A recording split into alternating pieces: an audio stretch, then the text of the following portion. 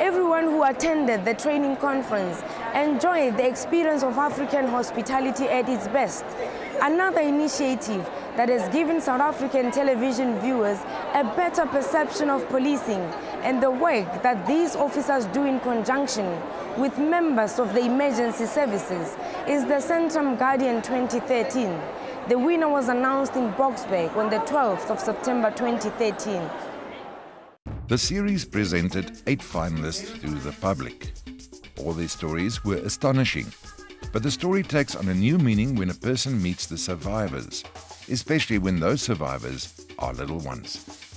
Two women, Anna-Marie Weaver and Bronwyn Armstrong, were rescued from an upturned boat in Hout Bay. One of them, Bronwyn, did not know that she was already pregnant. That baby has since been born and her name is Lexi. And in Polokwane, a baby miraculously survived the death of her mother.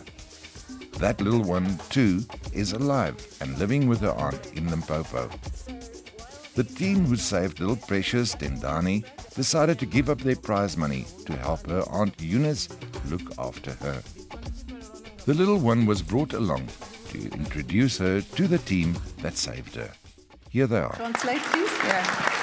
Um, so, in short, she greeted everyone in Venda and she wants to thank God for the miracle uh, and for giving the emergency personnel guys strength to pull this through. And she's lost for words. She doesn't know what to say. She's got deep gratitude for everything.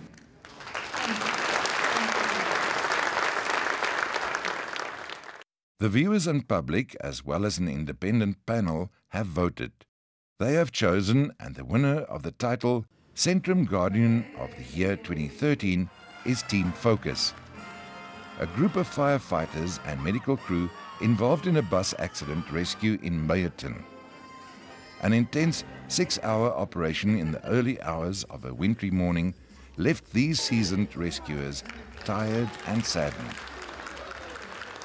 Our congratulations to the winner and finalists. They are all winners because they are our heroes and I've shown that they really care, enough to put their lives on the line to save others.